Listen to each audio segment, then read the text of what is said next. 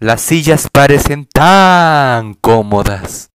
Claro que, como tengo colita, yo, yo no me puedo sentar en una silla.